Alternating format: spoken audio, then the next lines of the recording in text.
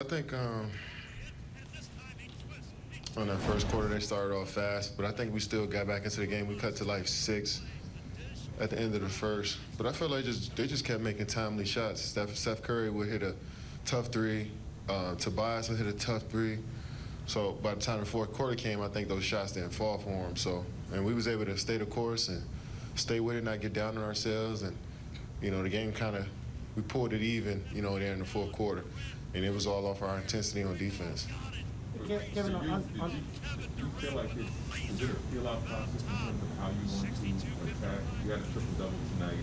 What were you seeing out there that made you feel like this is how I want to affect the game? Yeah, I mean, I think every game is different. You know, you don't know how some of these contending teams like Philly gonna play you defensively. They so versatile defensively. So going into a game, I gotta just be prepared to do anything. And it might not be my night scoring. It might not be my night assisting. So I just gotta be ready, you know, to be, to do anything on the offensive end. I think I started off scoring for us, but my role tonight I felt was more getting into the paint, making plays, rebounding, you know, then knocking down shots if I had them. I wish I'd have made a few late, but I felt like I rushed a lot of shots too, you know. So, um, but it was a great team win for us. You know, everybody came and, and stepped up defensively. LaMarcus was incredible for us tonight.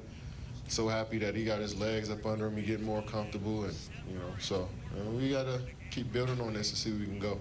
uh, it was so similar to the Milwaukee game for three quarters, and you guys never got more than three consecutive stops in the first three quarters. And at the end, you got eight straight stops, and they, and you made them miss their final nine shots. Is that just veteran resolve not to let it happen again? Yeah, I mean, like I said, I, I felt like they were, you know, their talent. They were just making shots over us, and I knew sometimes good. Well, most of the time, good offense is going to be good defense. So.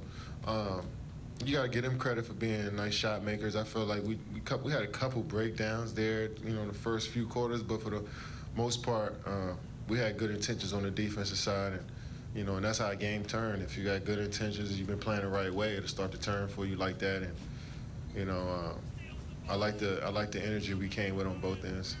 Kevin, as you guys return again in the fourth, it was that lineup of you, James, Jevon, Patty, and LaMarcus that, that really told us. What do you think worked so well with that lineup, multiple ball handlers and enforcers? Yeah, I mean, the, the league is small now, so when you can have two guards like Patty and JC that can either get in the paint, shoot the three, then you got handlers like James and myself uh, that can also get into the paint. Then LaMarcus who can roll to the rim or shoot the jump shot. I think it just makes us, you know, versatile on the offensive side of the ball. But JC and his ball pressure was huge for us, and Patty with his ball pressure as well was huge for us. So. Um, you know those two. You know, you know they play well with you know just about anybody on the team, and um, coach did a good job of sticking with that lineup.